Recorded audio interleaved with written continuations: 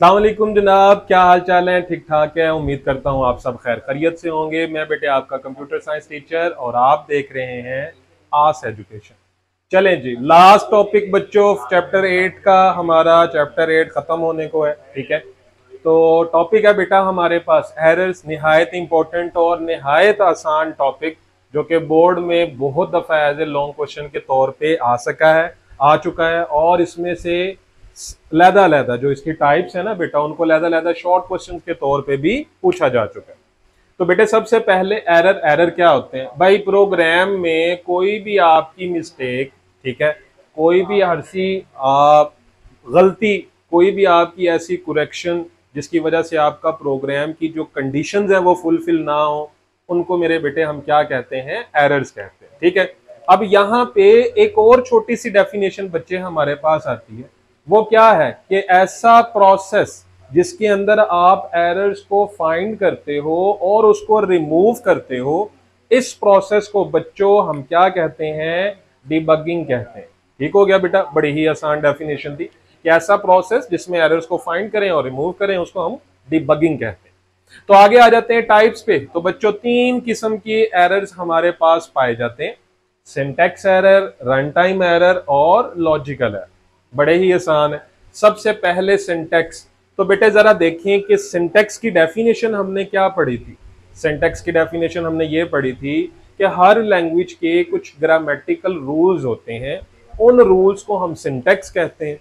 तो एरर क्या होता है? मिस्टेक यानी कि अगर आप उन ग्रामेटिकल रूल्स को फॉलो नहीं करते तो मेरे बेटे जो आपके पास मिस्टेक होगी, जो एरर होगा, उस एरर को हम क्या कहेंगे? सिंटेक्स एरर कहेंगे। अब भाई ये कौन कौन से एरर्स हैं? लेट्स सपोज़ दैट बेटा। आपको कहा जाता है कि कोई भी इंस्ट्रक्शन खत्म करने के बाद स्टेटमेंट टर्मिनेटर लगाएँ। अगर आप ये भूल जाते हैं तो वहाँ पे जो एरर आएगा, बेटा, वो कौन सा होगा? सिंटेक्स एरर होगा।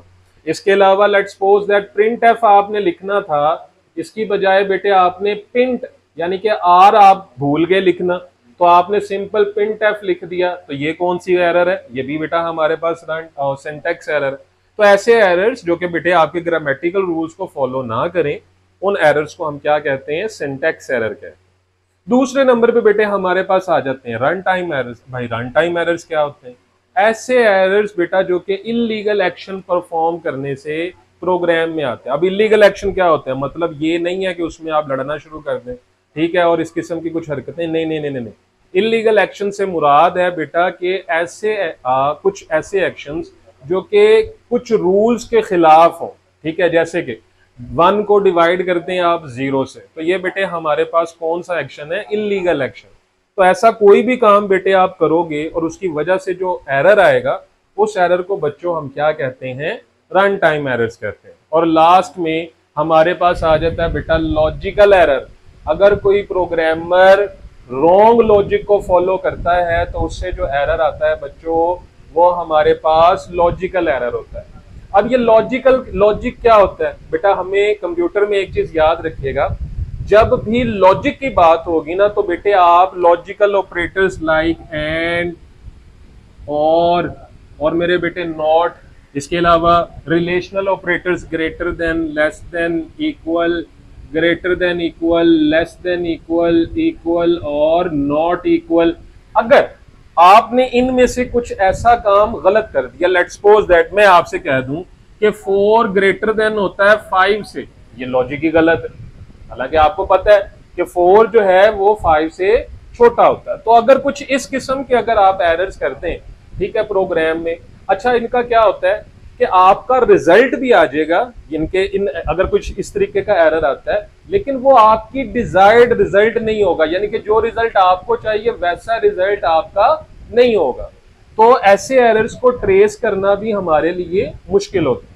तो बेटे सिंपल सी बात है, इसको हम क्या कहते हैं? लॉजिकल एरर्स कहते हैं। उम्मीद करता हूँ बेटे, आज का लेक्चर आपको समझ में आया होगा। अपनी दुआओं में याद रखिएगा। इजाज़त दीजिए। अल्लाह